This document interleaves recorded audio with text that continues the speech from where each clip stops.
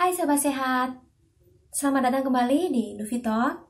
Baik pada hari ini saya akan berbagi informasi dan kalian mengenai pengertian dari hipertensi, faktor risiko dari hipertensi, dan pengendalian dari hipertensi tersebut. Simak videonya sampai selesai ya.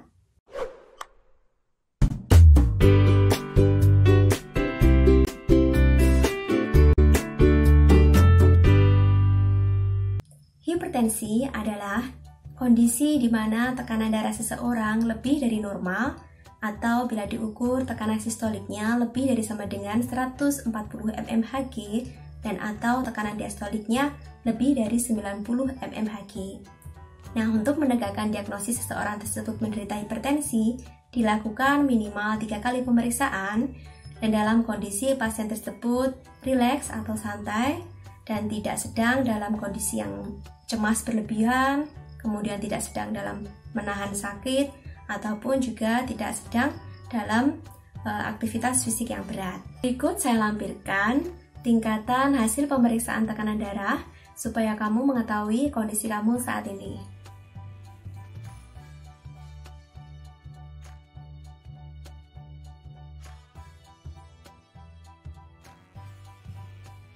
Hipertensi sering dikaitkan dengan silent killer apa sih sebenarnya silent killer itu? Jadi, silent killer adalah pembunuh diam-diam. Jadi sering kali muncul tanpa gejala namun dapat berakibat fatal atau kritis pada kondisi kesehatan kita. Nah, tentunya hal ini harus diwaspadai ya sobat sehat. Berdasarkan data dari hasil riset kesehatan dasar atau Riskesdas pada tahun 2013 menunjukkan bahwa penderita hipertensi di Indonesia adalah sebanyak 25,8 persen. Sedangkan pada tahun 2018 menunjukkan peningkatan yang signifikan yaitu sebesar 34,1 persen. Hal ini menunjukkan bahwa satu di antara tiga orang di Indonesia adalah menderita hipertensi. Apa saja sih gejala-gejala dari hipertensi itu sendiri? Tekanan darah tinggi atau hipertensi sering kali tidak menunjukkan gejala, namun, ada beberapa orang timbul beberapa gejala di antaranya adalah sakit kepala, masalah penglihatan, kesulitan bernafas ketika setelah mengangkat benda yang berat, nyeri dada, sering buang air kecil terutama pada malam hari, telinga berdenging, dan lain sebagainya. Lalu apa sih sebenarnya faktor-faktor resiko dari hipertensi sendiri? Jadi faktor resiko dari hipertensi dibedakan menjadi dua, yang pertama yaitu yang tidak dapat dimodifikasi. Contohnya adalah genetik atau riwayat keluarga, kemudian usia, dan juga etnik atau ras. Dan yang kedua adalah faktor yang dapat dimodifikasi seperti aktivitas fisik yang kurang, kemudian kegemukan, kebiasaan merokok, pola makan yang tidak sehat, dan lain sebagainya. Terus bagaimana sih cara-cara pengendalian hipertensi yang baik? Yang pertama adalah membatasi asupan natrium. Meskipun tidak semua penderita hipertensi sensitif terhadap natrium, tetapi setidaknya membatasi asupan natrium dapat membantu terapi pengobatan pada pasien hipertensi dan juga mencegah dari resiko penyakit jantung atau pembuluh darah seperti misalnya stroke. Nah, lalu makanan apa saja sih yang tinggi natrium? Yang pertama adalah garam.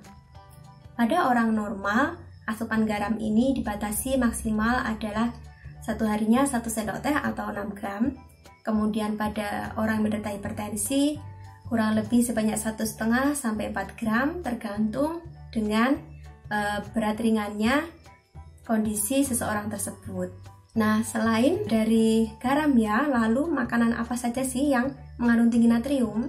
Contoh lainnya adalah e, makanan yang diasinkan, kemudian makanan yang diawetkan, makanan yang diasap, e, roti yang menggunakan baking powder atau pengembang, dan contoh makanan lainnya seperti mie instan, kemudian makanan yang dikalengkan, kecap, terasi, dan lain sebagainya.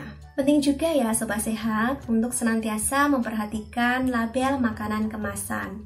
Jika di label makanan kemasan tersebut mengandung natrium lebih dari 500 mg per 100 gramnya, Hal ini berarti kandungan natrium dalam makanan tersebut adalah tinggi. Kemudian kandungan natrium dalam makanan kemasan tersebut kurang dari 100 mg per 100 gramnya, maka termasuk rendah. Pengendalian hipertensi yang kedua yaitu menjaga berat badan tetap ideal dan juga tetap melakukan olahraga secara rutin. Nah, olahraga ini bisa kita lakukan setiap hari atau mungkin kali per minggu, seperti misalnya berjalan kaki, bersepeda, berenang, senam aerobik, atau lain sebagainya. Pengendalian hipertensi yang ketiga yaitu membatasi asupan lemak jenuh dan kolesterol. Contohnya adalah susu full cream, kemudian kuning telur, daging merah, keju, margarin atau mentega, kulit ayam, jeruan, dan lain sebagainya. Asupan lemak dan kolesterol yang tinggi dapat mengakibatkan penyumbatan pada pembuluh darah yang mengakibatkan meningkatnya tekanan darah seseorang. Pengendalian hipertensi yang keempat yaitu mengelola stres dengan baik. Jadi jangan stres berlebihan ya. Pengendalian hipertensi yang kelima yaitu istirahat yang cukup. Pastikan kamu istirahat yang cukup, terutama pada malam hari, karena jika kita terlalu sering begadang, hal ini akan mengganggu respon stres tubuh yang dapat mengakibatkan terganggunya atau meningkatnya tekanan darah seseorang. Pengendalian hipertensi yang keenam yaitu berusaha untuk tidak merokok dan juga menjauhi dari asap rokok serta menghindari asupan alkohol. Nah, alkohol di sini tidak hanya terdapat pada minuman yang memabukkan saja, tetapi juga pada beberapa makanan lain yang mengandung alkohol seperti misalnya pada durian, kemudian tape singkong, tape ketan, dan lain sebagainya. Pengendalian hipertensi yang ketujuh yaitu jangan lupa untuk senantiasa tiap hari mengkonsumsi cukup sayur dan buah-buahan ya, karena sayuran dan buah-buahan mengandung tinggi serat dan kalium. Hal ini bermanfaat dalam mengendalikan tekanan darah kita. Contoh makanan yang mengandung tinggi kalium adalah pisang, kemudian melon, kurma, kemudian uh, kacang-kacangan, yogurt, susu yang rendah lemak, dan lain sebagainya. Pengendalian hipertensi yang kedelapan yaitu membatasi asupan minuman berkarbonasi seperti misalnya adalah soft drink. Pengendalian hipertensi yang kesembilan yaitu mengkonsumsi gula secara bijak dan tidak berlebihan. Asupan fruktosa atau makanan yang manis. Hal ini dapat mengakibatkan meningkatnya sintesis lemak dalam hati yang mengakibatkan meningkatnya trigliserida dan kolesterol dalam darah dan juga mengakibatkan meningkatnya resiko kegemukan. Hal ini tentu saja akan berdampak terhadap tekanan darah seseorang. Gula di sini tidak hanya terdapat pada gula pasir ya, tetapi juga pada makanan atau minuman kemasan. Jadi, kita harus senantiasa memperhatikan berapa kandungan gula atau pemanis di dalam makanan atau minuman kemasan tersebut. Pengendalian hipertensi yang terakhir atau yang ke-10 yaitu melakukan pemeriksaan tekanan darah secara rutin atau teratur, terutama pada orang-orang yang mempunyai resiko hipertensi atau riwayat keluarga yang hipertensi. Gimana teman-teman info sehat pada hari ini? Semoga bermanfaat ya. Jangan lupa subscribe dan like videonya supaya kamu nggak ketinggalan video-video selanjutnya. Sampai berjumpa di video lainnya.